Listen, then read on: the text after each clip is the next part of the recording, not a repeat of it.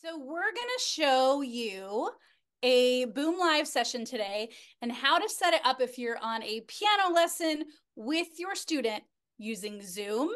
So the way that it's working best in piano lessons right now to do a Boom Live session with piano students is if you're on a computer and your student is on a computer. So um, Melody and I are each going to show you one of our decks. Um, in order to do that, first, um, we're both on Zoom. So for me to share my screen so that you can see how to set up a Boom Live session. Okay, so right now I'm going to show you here in this deck. So you're going to be inside of your Boom Cards library and you're going to click start live session for your students. And so once you are here in this um, screen, you have the ability to turn on or off all these different toggles. So the deck that we're playing does not include typing, so I am not going to toggle that on. This navigation, if you leave this turned off, your student cannot progress forward to the next card. So they can't skip it, but they also cl can't click the submit button. So you kind of want to decide, do you want your students to have the capability of just dragging um, and controlling the card and not clicking submit? Or do you want them, if you want them to click submit, you need to toggle on the navigation. This notification shows you when a student has joined your session, so you can see there. And then this allows you to share a pin with your student. So, um, so here is the link that I'm going to share with Melody here. I'm going to click copy. And then you will have already set that up with your student, but you may already want to have your student. Yeah.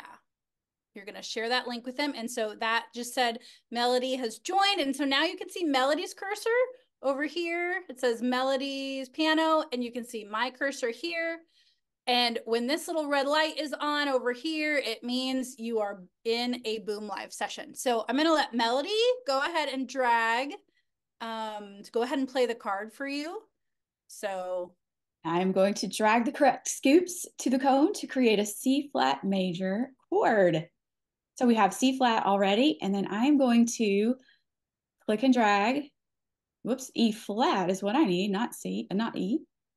E flat, and then let go of it when the blue box lights up.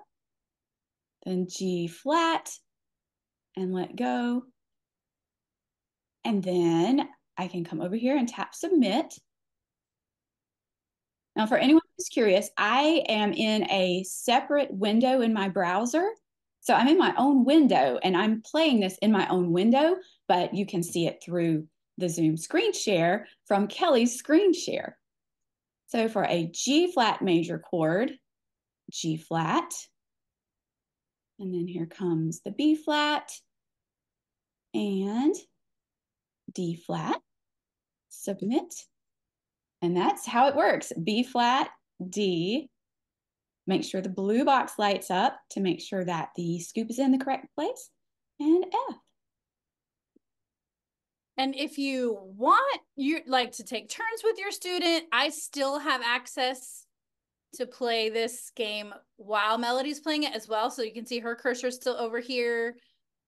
I put those in the wrong spot because I'm talking upside down. That's so, okay. But I can still um, play as well. So, and I am not sure of the limit, but I know you can have at least four um, and possibly more. So you could use this as a group lesson. Mm-hmm. Um, but for now, this is just a one on one. That's what it looks like when you do a drag and drop deck. And Melody is going to show you a different kind of deck here. So I love that you can take turns with your student. That's a really fantastic option. All right, here are my boom cards. And we are going to do this music math one. So I'm going to click Action, Start Live Session.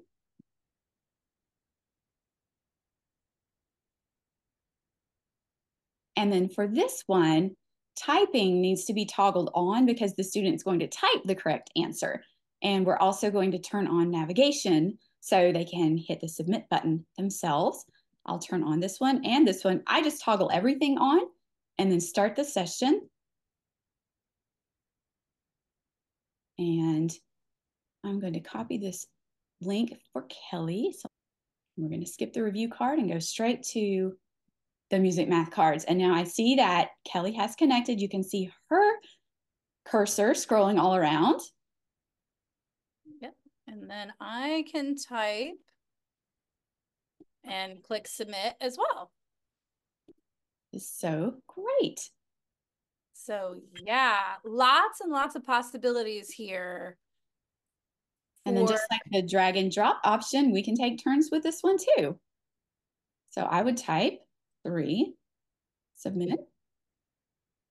We have played around with uh, with several different ways to do it, and for right now, um, it's working best for us computer to computer. So I know we use iPads too, um, and and that is possible. Um, down the road, we might share more about that. So we hope this helps, and we hope that you and your students enjoy the Boom Live sessions.